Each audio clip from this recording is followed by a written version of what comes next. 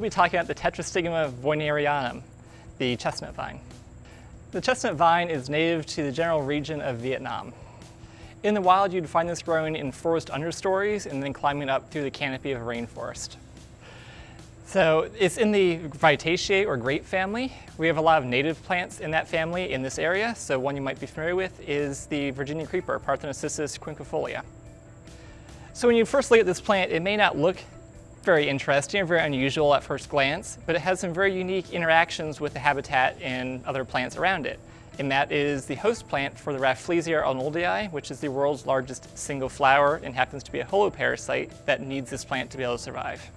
So this plant, the chestnut vine, is a flowering plant. It'll produce small green flowers that aren't very significant, look very similar to a grape flower or Virginia creeper flower. So in the tetrastigma flowers, it really doesn't have much of a scent at all. But its relationship to the Rafflesia, when that Rafflesia will flower, that plant itself smells like a dead body. The tetrastigma, when it flowers, will be pollinated by flies and small beetles, um, nothing terribly exciting. However, the Rafflesia, that will be carrion flies, um, beetles that would be attracted to lay eggs in rotting flesh, a whole different subset of insects.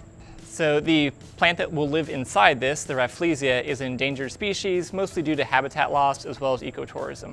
So if you're really interested in the Rafflesia and want to grow something that reminds you of or can tell a story, you can actually grow a tetrastigma in your house fairly easily. It makes a really good house plant. It'll tolerate low light, it does prefer relatively high humidity levels, so that would be something to keep in mind. So while the host plant, the tetrastigma, is relatively easy to care for, the Rafflesia is a whole different story. It's still being worked out how the Rafflesia will actually parasitize its host, um, how that goes from seed to actually being inside the plant. Um, so there's still a lot of studies on that, and it hasn't been done successfully, um, and it's not being published because they don't want everyone else going out and collecting seed and potentially threatening this endangered species.